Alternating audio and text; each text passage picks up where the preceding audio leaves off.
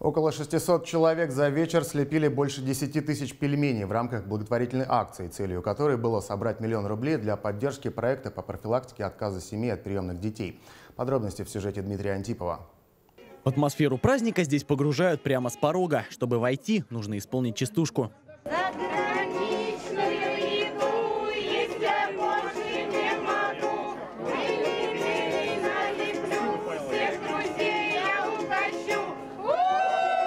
Ресторан, в котором проводят фестиваль, разделили на несколько зон. В одной лепят, в другой едят, в третьей развлекаются.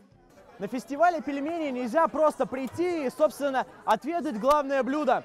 Для того, чтобы покушать его, нужно сперва приготовить, притом с нуля. Сперва пельмени надо налепить, а потом отдать на варку.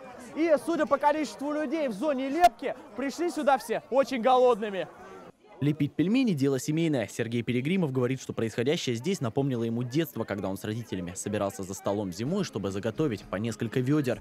Теперь думает возродить семейную традицию уже со своими детьми. Фак- Фактически вся семья, то есть, ну как, фестиваль проходит как благотворительный фонд помощи детям. Ну, только ради этого.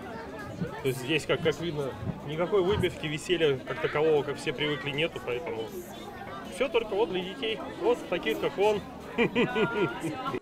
Главная цель фестиваля – собрать минимум миллион рублей для того, чтобы вложить их в развитие благотворительного проекта, в рамках которого волонтеры помогают семьям в воспитании приемных детей. А пельмени – просто хороший повод собрать людей в одном месте. Успех однозначно да, потому что очень много счастливых людей, которым все нравится. Нам, как организаторам, все нравится, а мы очень к себе так относимся сурово, и потому что ну, имеем большой опыт организации разных мероприятий. А, все собранные сегодня средства с продажи билетов, с благотворительной ярмарки, они пойдут на наш, благотвор... на наш проект, который мы реализуем в фонде уже пять лет. Проект «Вместе с семьей» — это помощь приемным семьям. Гости сыты, миллион собран. По мнению организаторов, стартовал фестиваль очень удачно. И не исключено, что в будущем новосибирцы начнут чаще собираться, чтобы налепить пельменей. Дмитрий Антипов, Евгений Агеев, новости ОТС.